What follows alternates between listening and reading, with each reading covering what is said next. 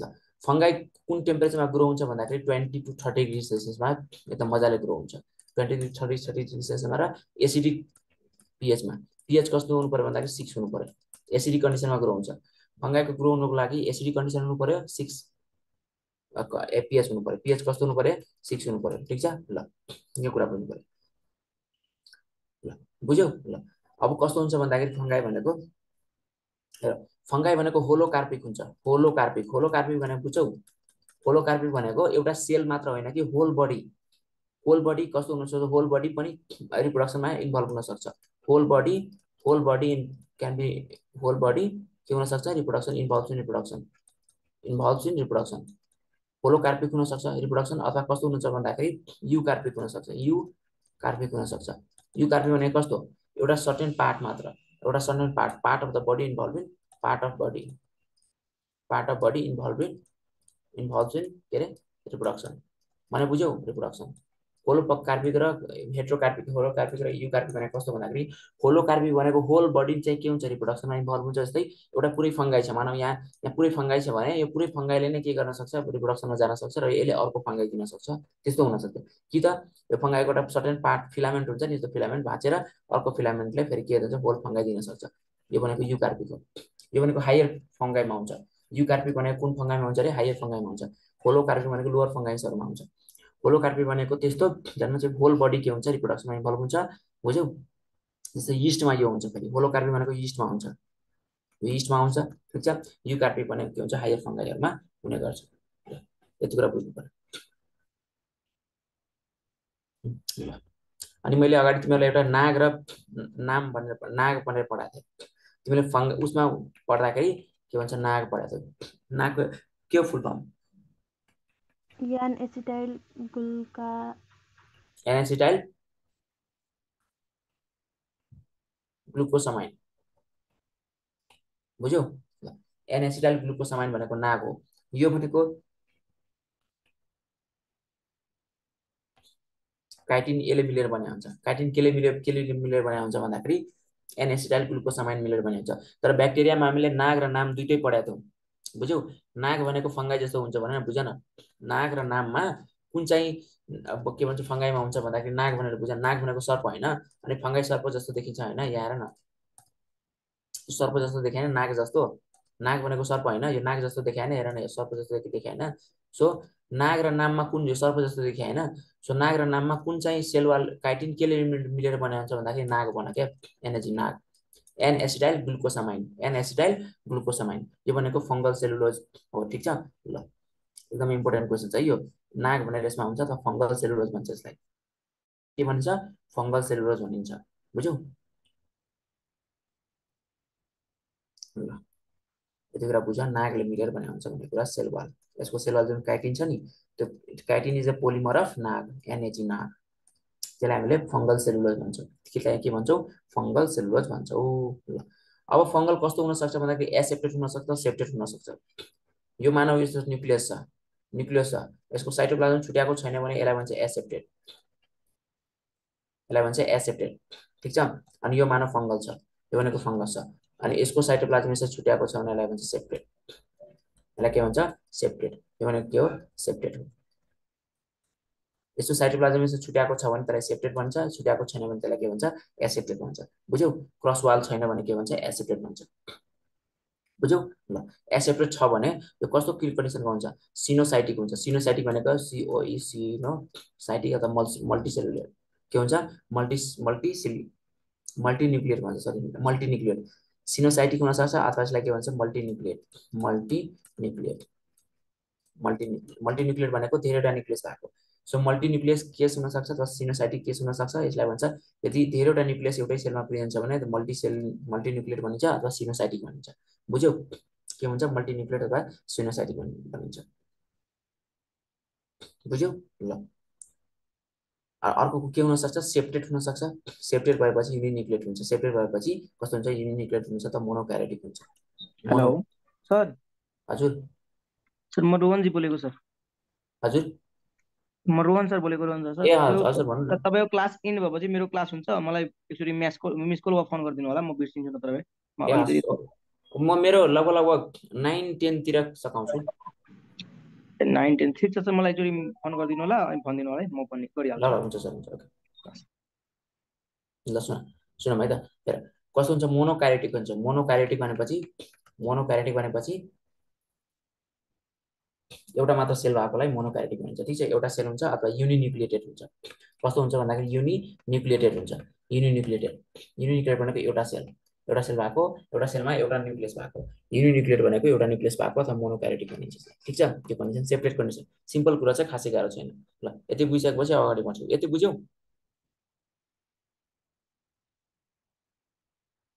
बुझ्यो कि नै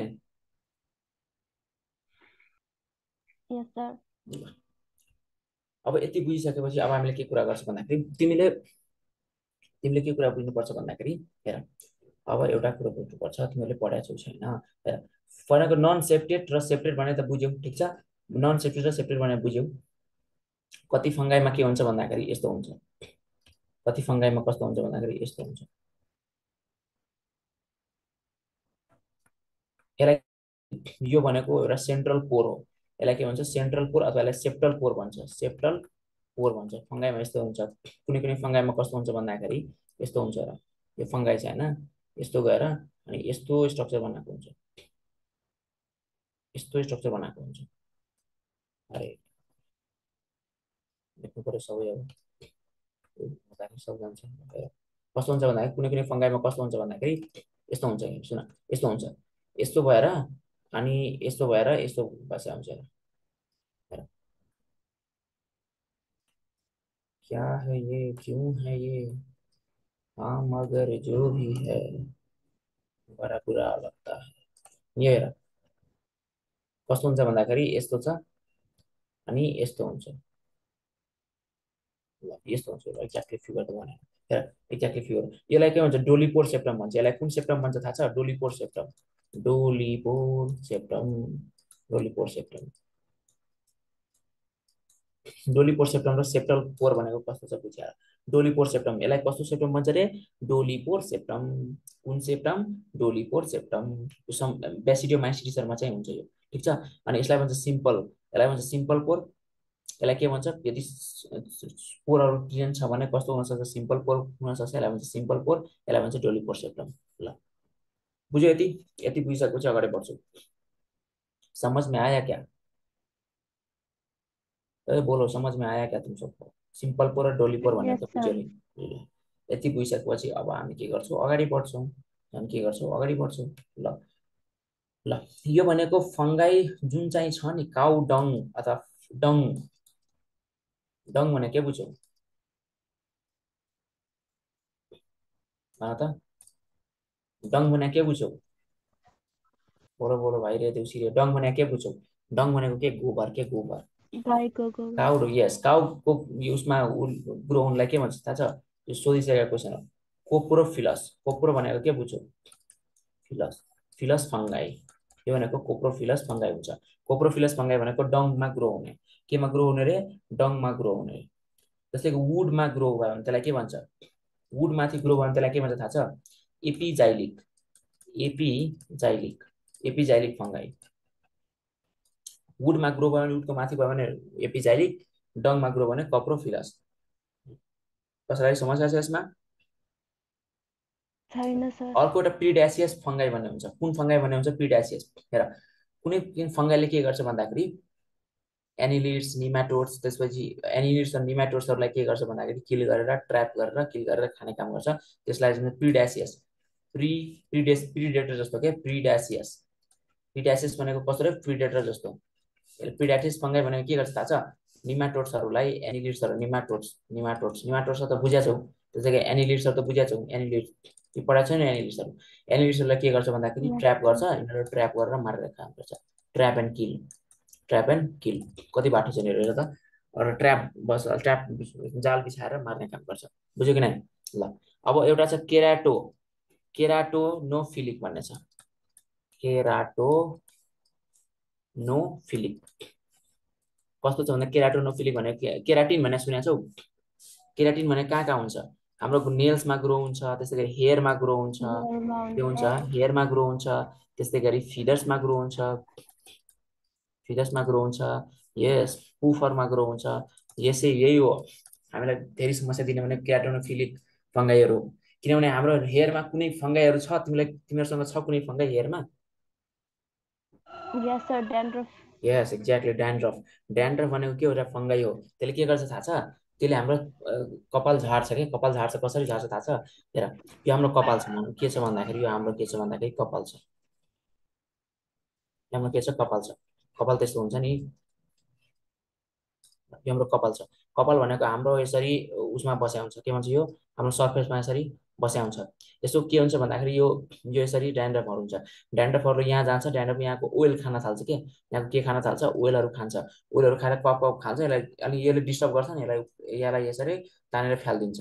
अनि हाम्रो कपाल झर्छ क्या बुझ्यो कि नै त्यही भएर कपाल कपाल झर्ने समस्या तिमीलाई थाहा छ कपाल झर्ने समस्या के के केले गर्दा हुन्छ भन्दाखेरि। हेयर फल जुन हुन्छ नि हेयर फल हेयर फल भनेको के केले गर्दा हुन्छ? एउटा भनेको हाई टेम्परेचर गर्मीले गर्दा हुन्छ। हाई टेम्परेचर भयो भने कपालको झर्ने समस्या हुन्छ। हाई टेम्परेचर तिमीहरूलाई म भनिदिइरहेको छु हेर। हाई टेम्परेचरले गर्दा कपाल झर्न सक्छ। अर्को भनेको कपाल यदि कसै कसैले भन्छ नि कपाल लामो पाल्यो भने कपाल झर्छ। केले गर्दा हुन्छ थाहा छ? कपाल लामो पाल्यो भने न्युट्रिसन जति हुन्छ नि न्युट्रिसन सबै कपाललाई राम्रोसँग नपुग्न सक्छ। पहिलो कुरा न्युट्रिसन सबै कपाल लामो कपाल इफ कपाल इज लङ लङ हेयर छ भने लङ हेयर कि बोइजरमा भनिरहेको छ गर्ल्सहरूमा त खासै कम हुन्छ बोइजहरूको जेनेटिकली नै के हुन्छ भन्दाखेरि कपाल झर्ने समस्या चाहिँ बढी हुन्छ। यसमा के हुन्छ भन्दाखेरि हाई टेम्परेचर बढी टेम्परेचर छ भने कपाल झर्छ होइन? अर्को भनेको तिमीहरूले न्युट्रिसन पुगेन भने जब कपाल लङ हुन्छ त्यतिखेर झर्छ कपाल होइन? अर्को भनेको स्ट्रेसले कपाल झर्छ। अर्को के हुन्छ? स्ट्रेसले कपाल लास्टै झर्छ। अर्को भनेको यो ड्यान्ड्रफले झर्छ। अब भन्छ सर सबै कुराले त कपाल नै झर्ने हुन्छ। अब कसरी कपाल बचाउने? कपाल बचाउने भनेको सिम्पल तरिका नो स्ट्रेस कपाल भनेको सानो सानो ढाका जसको कपाल एकदमै झर्ने समस्या हुन्छ नि उसले कपाल ठुलो पाल्नै हुँदैन। फटाफट कपाल झरिहाल्छ उसको। सो कपाल ठुलो पाल्नु हुँदैन सानो कपाल राख्ने। अनि त्यसपछि यस सानो कपाल राख्ने भने चाहिँ सर कृपा सिके ठुलो कपाल नराख्नु? यस सानो राख्ने। अब कपाल झर्नुभन्दा राम्रो त कपाल सानो भएकै कपाल राम्रो हो नि त। कपाल नभएको भन्दा त सानै कपाल राम्रो हो नि त। केही एक दुई वर्षमा कपाल झरिहाल्छ। त्यसमा किन राख्ने? अर्को भनेको हजुर? गर्ल्सको नि। झर्यो भने कपाल भनेको? हजुर। झर कपाल त झरिहाल्छ नि जसको पनि कपाल झर्छ तर मेन चाहिँ के भन्छ के भन्छ क- अरे म्यानको कपाल झर्छ वुमेनको कपाल अलिक कम झर्छ क्या बुझ्यो कि नै? वुमेनमा अलिकति जेनेटिकली के हुन्छ भने कपाल झर्ने समस्या अलिकति म्यानमा बढी हुन्छ वुमेनमा नहुने हुँदैन वुमेनको पनि कपाल झर्छ बुझ्यो कि नै? तर सुन न अब तिमी नेचरले यति यति पक्षपात गरिरहेको छ कि वुमेनहरूलाई चाहिँ अलिकति के हुन्छ भन्दाखेरि कपाल ठुलो कपाल ठुलो राख्ने अन्त कपाल पाल्ने अनि त्यसपछि यिनीहरूको कपाल पनि नझर्ने टाइपको बनाइदिएको हुन्छ क्या। अनि त्यसपछि नझर्ने चाहिँ हुँदैन। त्यसको कपाल पनि हेयर फल भनेको के भन्छ सबैमा हुन्छ हेयर फल भनेको दुइटैमा हुन्छ तर मेलमा बढी हुन्छ क्या। मे हेर न तिमी फिमेल कुनै पनि फिमेललाई तिमी के भन्छ ओल्ड एजमा गएर कपालै आधासम्म आधासम्म कपालै नभएको देखाएको छौ त। सर। आज चाँद निक्ला भन्ने टाइपको देखाएको छ तर मेनमा त हुन्छ नि त्यसरी। मेनमा त हुन्छ होइन? किन हुन्छ थाहा छ मेनले धेरै सोच्छ क्या। मेनले के धेरै सोच्छ धेरै सोच्छ धेरै सोच्नुपर्छ। लास्टै सोच्नुपर्छ। लास्टै सोच्दाखेरि मेनको कपाल झर्छ क्या स्ट्रेस धेरै हुन्छ मेनलाई तर फिमेलको जीवनमा त स्ट्रेस भन्ने कुरो हुँदैन। सोच्नै पर्छ उनीहरूले। उनीहरूले उनीहरूले कसको भरमा बाँच्ने हो? सोच्नको लागि फेरि एउटा कुरा हुनुपर्छ है। सोच्नको लागि सायद मैले कहीँ सुनेको थिएँ एउटा एकजनाले भन्दै थियो सर सोच्नको लागि ब्रेन हुनुपर्छ। त्यो हुँदैन त्यही भएर सोच्दैन स्ट्रेस हुँदैन कपाल झर्दैन भन्छ। एकजना अरूले भनेको कुरा है मैले भने होइन। यो होइन कि मैले तिमीलाई सुनाउनको लागि अरूको नाम लिएर भने त्यस्तो होइन। एकजनाले भन्दै थियो कि यसरी। बुझ्यो कि नै? मेनमा के हुन्छ? स्ट्रेस बढी हुन्छ। स्ट्रेस बढी हुनुको कारण के हुन्छ? उनीहरूसँग दिमाग हुन्छ। दिमाग भएपछि के हुन्छ? सोच्छ। बुझ्यो कि नै सोच्छ। सोचेपछि के हुन्छ भन्दाखेरि उनीहरू उनीहरूको कपाल बढी झर्छ। फिमेलमा यो कपाल हेयर फलको समस्या कम हुन्छ किन उनीहरूले अलिकति धेरै ओभर थिङ्क चाहिँ गरेर हुँदैन बुझ्यो? बुझ्यो कि नै सो यस्तो यो कारणले गर्दा कपाल झर्छ। ड्यान्ड्रफ छ भने ट्रिटमेन्ट गराइहाल्ने। ड्यान्ड्रफ छ भने यस्तो ड्यान्ड्रफ छ भने ट्रिटमेन्ट गराइहाल्ने। एकदमै के भन्छ मैले नि धेरै अगाडि नै मलाई अलिअलि ड्यान्ड्रफ थियो। मैले गएर चेकअप गराएको थिएँ। त्यस त्यसले निल्दन स्याम्पुल भन्ने दिएको थियो कि? निल्दन स्याम्पुल निल्दन स्याम्पू भन्ने हुन्छ। त्यो एन्टी ड्यान्ड्रफ एन्टी हेयर फल सबै कस्तो हुन्छ त्यो चाहिँ मैले पनि पहिला गराएको थिएँ के भन्छ यो? त्यसले नुहाइरहेको हुन्थ्यो त्यो भनेको यस्तो हुन्छ क्या त्यो निल्दन स्याम्पू यो भनेको हुन त कुनै मेडिकल सुपर सुपर ऊ होइन प्रिस्क्रिप्सन होइन यो तर निल्दन स्याम्पू यदि कसैको छ भने डाइरेक्ट गएर निल्दन स्याम्पू लिएर त्यसले ड्यान्ड्रफ हटाउने हो क्या? ड्यान्ड्रफ यदि छ भने। त्यसले के गर भन्दाखेरि हप्तामा दुईचोटि नुहाऊ दस मिनट जति लाएर छोडिदेऊ त्यसको फिज त्यसको दस मिनट जति लाएर छोडिदेऊ अनि त्यो भनेको हप्तामा at least two two times नुहाउनुपर्छ त्यो भनेको ट्रिटमेन्ट हुन्छ के को दुई महिनासम्म यस्तो गर्नुपर्छ है दुई महिनासम्म टु मन्थसम्म अनि ड्यान्ड्रफ हराउँछ ल। स्ट्रेस नलिने खानासाना मजाले खाने तेल सेल त्यो टाउकोमा अलिकति तेल अलिकति ओइल अप्लाई गर्ने। अनि ड्यान्ड्रफ धेरै छ भने फेरि मस मस्टार्ड ओइल एप्लाई गर्नु मिल्दैन। मस्टार्ड ओइल के गर्दैन अप्लाई गर्न मिल्दैन। ल। यति कुराहरू तिमीहरू भन सरले तपाईँले यो के पढाएको बोटनी पढाएको बोटनी एटलिस्ट मैले फङ्गाई पढाएर नि त। फङ्गाई मात्रै कुरा भन्नुपर्छ नि ड्यान्ड्रफको कुराहरू होइन भन त। सर फङ्गा स्किनमा पनि हुन्छ नि? हजुर यस स्किनमा पनि यस स्किनमा पनि फङ्गस फङ्गस डिजिज पनि ट्रिट गर्न धेरै गाह्रो छ। किन थाहा छ? फङ्गस पनि युक्यारिटिक हो। हामी पनि युक्यारिटिक छौँ। फङ्गस पनि युक्यारिटिक हामी पनि युक्यारिटिक छ। फङ्गसलाई हामीले एन्टिबायोटिक यदि खायो भने त्यसले फङ्गसलाई त डिस्ट्रोय गर्छ गर्छ। हाम्रो सेललाई पनि डिस्ट्रोय गर्छ। एन्टिबायोटिकले हत्तै हाम्रो बडीको पुरै घटाइदिन्छ। तर ब्याक्टेरियाको केसमा चाहिँ ब्याक्टेरियल डिजिजहरू चाहिँ चाँडै ठिक हुन्छ। तर त्यो फङ्गसको यदि फङ्गसहरूले स्क्याबिज स्क्याबिज फङ्गसले गराउने होइन कि फङ्गल इन्फेक्सन हुन्छ। फङ्गल इन्फेक्सन हुन्छ फङ्गल इचिङ हुन्छ। फङ्गल डिजिज हुन्छ स्किन डिजिज हुन्छ फङ्गल इचिङ हुन्छ। चाहिँ आर्म पिट्सहरूमा त्यस्तै प्राइभेट पार्ट्सहरूमा त्यस्तोमा चाहिँ के हुन्छ भन्दा त्यस्तो ठाउँमा जुन चाहिँ के हुन्छ भन्दाखेरि धेरै स्वेट आउने हुन्छ स्वेट स्वेट धेरै आउनु हुन्छ अनि त्यहाँदेखि तिमीहरूले पनि के हुन्छ भन्दा भनौँ स्वेट धेरै आउनुहुन्छ प्लसमा भिजेको मानव नुहाएको हुन्छ नुहाउने बित्तिकै लुगा सुगा लाउने गरे हुन्छ कसैले बडी वाइप नगरिकन। बडी के गर्न नगरिकन वाइप नगरिकन नसुकाइकन लुगा सुगा लाउँछ नि। अनि बाहिर यसो घामसम्म हिँड्ने गऱ्यो भने उनीहरूकोमा के हुन्छ भन्दाखेरि फङ्गस डेभलप हुन्छ। फङ्गस डेभलप हुन्छ। त्यस्तो फङ्गसलाई ट्रिट गर्न धेरै गाह्रो हुन्छ।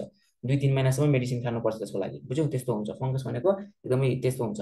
इचिङ डिजिज हुन्छ स्क्याबिज होइन कि इचिङ डिजिज हुन्छ त्यसमा। त्यस्तोको हुन्छ? त्यसले फङ्गसको डिजिज ट्रिट गर्न धेरै गाह्रो हुन्छ। युक्यारिटिक हुन्छ हामीले एन्टिबायोटिक हार्ड एन्टिबायोटिक पनि खान मिल्दैन। खायो भने यस्तो यसले हामीलाई इफेक्ट गर्छ। अनि त्यो बिस्तारै बिस्तारै दुई तिन महिनासम्म खानुपर्छ। बुझ्यो कि फङ्गस ब्याक्टेरियालाई मार्ने भनेको तिमीहरूले एउटा सिम्पल मेथड यिनीहरूको किलिङ मेथड कस्तो हुन्छ भन्दाखेरि फङ्गस अथवा ब्याक्टेरियालाई तिमीले किलिङ गर्ने कस्तो हुन्छ भन्दाखेरि तिमीले कहिले पनि त्यो उस वार देखाएको छैन? वार। वारमा के हुन्छ भन्दाखेरि वार भने मुभीको नाम होइन मैले। वार भनेको कुनै पनि वारको कुरा गरे हो। वारमा के हुन्छ भन्दाखेरि यताबाट यताबाट बन्दुकले गोली हान्छ। के हुन्छ भन्दाखेरि बन्दुकले गोली हान्यो भने यता जति पनि सेनाहरू हुन्छ नि सेनाहरू त्यो सोल्जर्सहरू हुन्छ नि सोल्जर्स। त्यो सोल्जर्सहरूले के गर्छ भन्दाखेरि दसवटा गोली हान्यो भने जति धेरै सोल्जर्स हुन्छ त्यति धेरै गोली लाग्ने चान्स हुन्छ। तर सोल्जर्सको नम्बर घट्दै गयो घट्दै गयो घट्दै गयो भनेपछि अब केही मात्र बाँकी हुन्छ दुई चारवटा। अनि धेरै गोलीले के गर्न सक्दैन? अब गोली लाग्ने चान्स कम हुन्छ। त्यसै गरी नै ब्याक्टेरियाको पनि त्यस्तै हुन्छ। अनि जब लास्टमा एउटा यस्तो यस्तो घट्ने हो क्या जति धेरै ब्याक्टेरिया अथवा फङ्गाई हाम्रो बडीमा हुन्छ सुरुमा त्यति धेरै मर्छ। त्यसपछि बिस्तारै कम मर्दै जान्छ। कम मर्दै जाँदाखेरि लास्टमा के हुन्छ? त्यही भएर तिमीहरू ninety nine point nine nine percentage हेरेर हुँदैन उसमा। कहिले पनि एउटा इन्फाइनाइट ब्याक्टेरियाको केसमा भन्दाखेरि लास्टमा एउटा न एउटा ब्याक्टेरिया बाँकी रहन्छ नै क्या। त्यही भएर तिमीहरूले कहिले पनि ब्याक्टेरियालाई मार्दाखेरि फङ्गसलाई मार्दाखेरि सबै कम्प्लिटली मार्नै सक्दैनौ। त्यो त्यसको लागि इन्फाइनाइट टाइम लाग्छ। त्यसको लागि के लाग्छ? इन्फाइनाइट टाइम लाग्छ त्यसको कर्भ हेर्ने भने यसरी हुन्छ। यसरी हुन्छ। टच गर्न खोजिरहन्छ यो लोवर सर्फेसलाई तर टच गर्न सकिरहँदैन इन्फाइनाइट टाइम लाग्छ। त्यही भएर तिमीलाई ninety nine percent nine percent germs मार्छ भन्ने भने सुनेको छौ नि?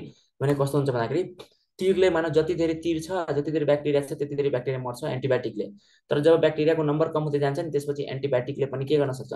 बिस्तारै कम कम मर्दै जान्छ। बिकज त्यो गोली हाने जस्तै हो क्या? धेरैजना मान्छेलाई हजारवटा मान्छेलाई गोली हाने जस्तै। जति धेरै मान्छे छ त्यति धेरै मर्ने चान्स हुन्छ।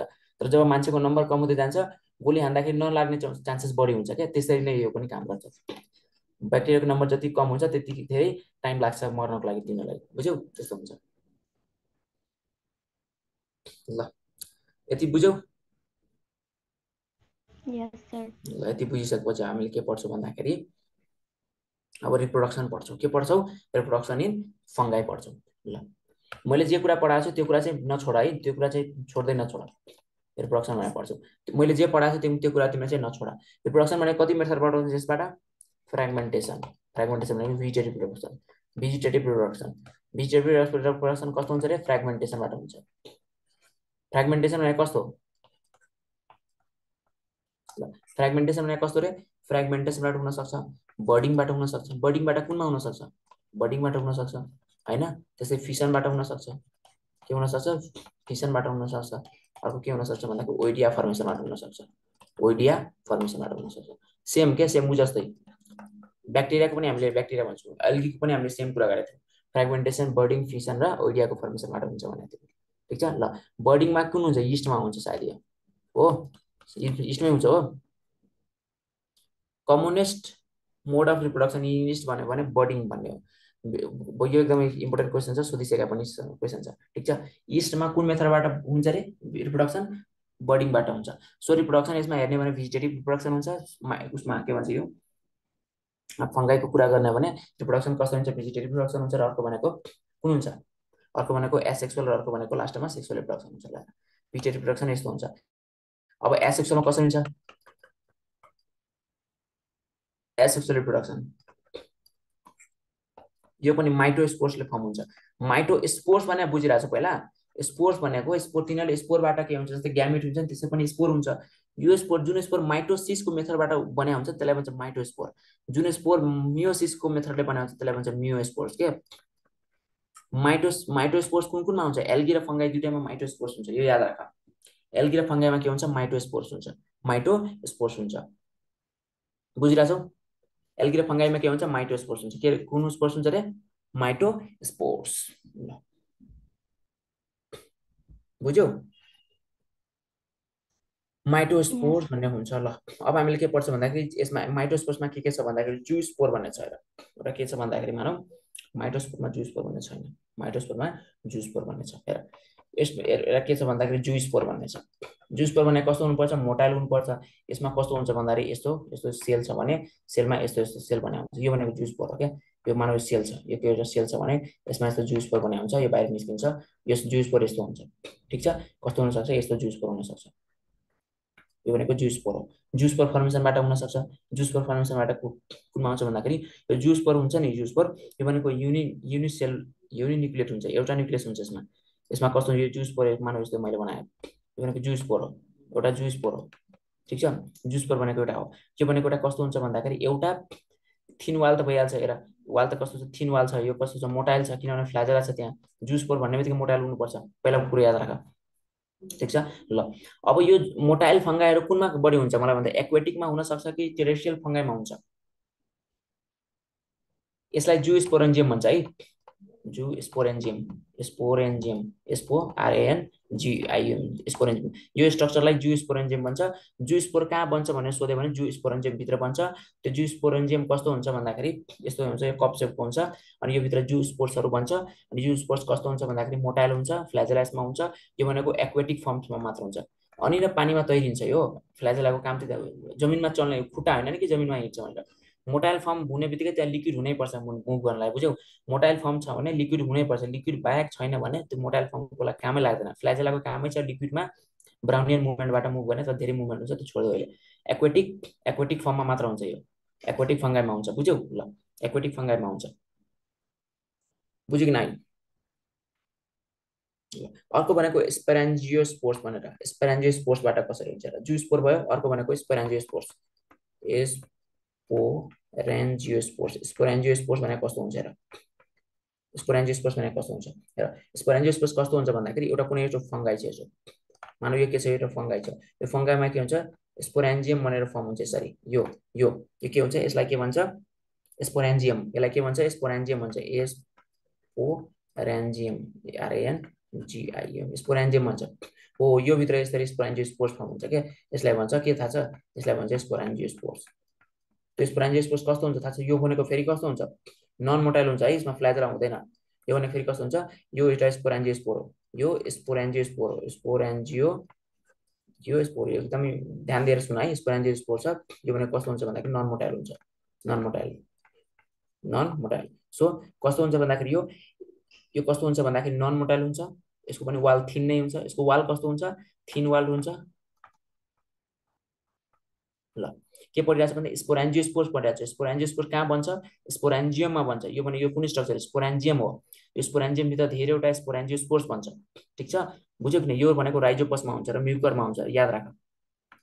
राइजोपस र म्युकरमा आउँछ यो। यो याद हुनुपर्छ। स्पोरेन्जियोस्पोर्सबाट कुन कुनमा आउँछ भन्दाखेरि राइजोपस र म्युकरमा आउँछ। केमा आउँछ र? राइजोपस र म्युकरमा के हुन्छ? स्पोरेन्जियोस्पोर्सबाट हुन्छ। बुझिरहेछौ कुरो? ल त्यति बुझ्नु पर्यो। स्पोरेन्जियममा भित्र स्पोरेन्जियोस्पोर्स भन्छ। स्पोरेन्जियोस्पोर्स भनेको कस्तो हो? कस्तो स्पोर हो त्यो नन मोटाइल हुन्छ र थिन वाल्ड हुन्छ। नन मोटाइल र थिन वाल हुन्छ। यो कुन मेथ कस कुन कुनमा आउँछ भन्दाखेरि कुन कुन फन्जाइमा?